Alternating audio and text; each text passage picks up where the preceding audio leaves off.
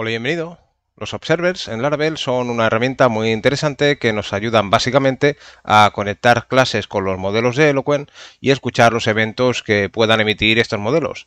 De esta forma lo que podemos hacer es en lugar de ensuciar los modelos con mucha información, con mucha escucha de eventos, podemos tener una clase aislada que sea un observer y que esté escuchando los eventos que Eloquent vaya disparando. Bien, así que un observer básicamente sería eso, una clase que podemos crear para poder tener de forma aislada en una clase separada una escucha a los eventos que Eloquent pueda ir disparando conforme se va ejecutando nuestra aplicación. Para poder crear un observer simplemente ejecutaríamos el comando artisan make observer, nombre del observer y el flag model con el modelo que queremos utilizar para este observer.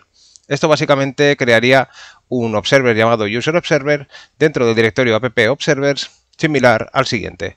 Fíjate que es una clase que no tiene nada, es una clase muy sencilla, donde se pueden ir definiendo todos los métodos en forma de eventos que Eloquent vaya a ir disparando. Por ejemplo, el método created. El método created va a ejecutarse cuando Eloquent, en el modelo user, ejecute el evento created. Y aquí nos va a ofrecer el usuario. Bien, si vamos a ver los eventos que hay disponibles, fíjate, los eventos que tenemos disponibles en Eloquent son Retrieved, Creating, Created, Updating, Updated y un montón de eventos más. Todos estos eventos son los que podemos definir en forma de método dentro de estos observers. Y simplemente por escuchar o por definir estos métodos vamos a poder hacer lo que necesitemos en cada punto. Si volvemos de nuevo a la sección de observers, Fíjate que si seguimos bajando nos dicen que para registrar un observer simplemente tenemos que utilizar este atributo observedBy con los observers que podamos tener. Es un array y podemos definir uno o los que queramos separados por coma. Y esto automáticamente va a hacer que los observers estén funcionando en nuestros modelos. En este caso en el modelo user. Pero lo podemos hacer para cualquier otro modelo. Esto tiene una pinta maravillosa y te preguntarás que qué tiene de malo. Bueno, de malo realmente no es que tenga nada pero hay varios casos en los que esto no debería ser utilizado. Y te pongo un caso. El primer caso donde sí que lo podríamos utilizar los observers y que me parecen una buena herramienta es cuando estamos desarrollando nosotros un proyecto que a lo mejor es un proyecto personal para nosotros o es un producto que, en el que solo vamos a participar nosotros como desarrolladores. En ese caso me parece que es una buena idea utilizar observers o puede ser una buena idea, no tiene que ser un requisito, porque somos nosotros los únicos que vamos a trabajar con este tipo de funcionalidades. Y sabemos que cuando se vaya a crear un usuario con el método create, se, va a, se van a ejecutar una serie de, de eventos y podemos a través de nuestros observers estar escuchando estos eventos y llevar a cabo determinadas tareas. Como por ejemplo, en el evento created podríamos notificar al administrador o al usuario de que la cuenta se ha creado, por poner un caso. Esto está bien porque solo trabajamos nosotros y sabemos que lo hemos hecho así.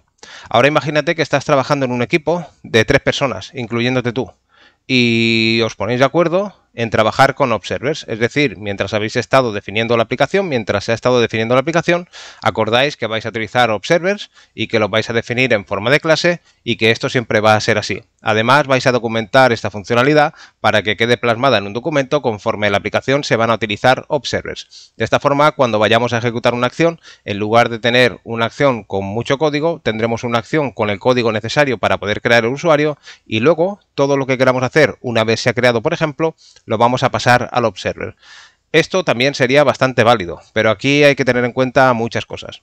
La primera de ellas y la más importante, si estás trabajando en una empresa en la que hay mucha volatilidad de empleados, es decir, empleados entran, empleados salen, entran perfiles de cualquier tipo, junior, middle y senior, y no se sabe lo que van a estar cada uno, ni te puedes llegar a familiarizar con ninguno de ellos para poder trabajar, no creo que sea una buena idea trabajar con observers. Básicamente porque el principal problema de los observers es que encapsulan la información, las acciones que se están llevando a cabo dentro de una clase y este encapsulamiento para mí es excesivo en muchos casos, porque dejas de ver lo que realmente se está, está pasando en la aplicación. Yo no sé lo que se está haciendo en el User Observer si no tengo conocimiento de que se está haciendo uso de un User Observer. Es decir, cuando yo creo un usuario, creo el usuario, y si hay un observer que se está escuchando a partir, a través del modelo, como podemos ver aquí, yo no tengo ni idea de lo que se está haciendo ahí ni de si se está utilizando o no. Y este es el principal problema. Además, hay muchos desarrolladores que están empezando que ni siquiera saben lo que es un observer, porque conocen lo básico de una aplicación, de cómo hacer un CRUD, de cómo enviar una notificación y cosas básicas, pero a lo mejor no conocen lo que es un observer, ni han trabajado nunca con ellos.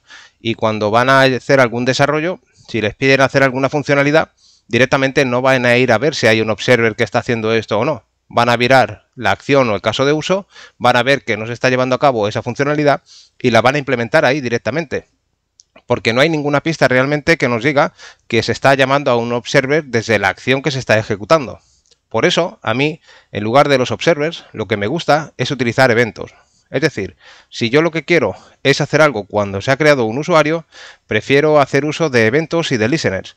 Puedo crear un evento, por ejemplo, llamado userCreated, y en ese evento userCreated lo puedo disparar cuando se haya creado el usuario en la acción userCreatedDispatch, y cuando he hecho el dispatch como voy a tener una serie de listeners que van a estar escuchando a ese evento, lo que voy a hacer en cada uno de esos listeners va a ser una tarea concreta. Por ejemplo, notificar al usuario de que se ha creado la cuenta, notificar al administrador de que se ha creado una nueva cuenta y hacer todo lo que pueda necesitar. De esta forma, entonces sí que en la acción o en el caso de uso voy a poder ver que se está disparando un evento. Y si voy a revisar esa clase, ese evento, voy a ver que tiene una serie de listeners asociados. Y de una forma muy sencilla voy a detectar que realmente se están haciendo más cosas aparte de lo que está haciendo la acción.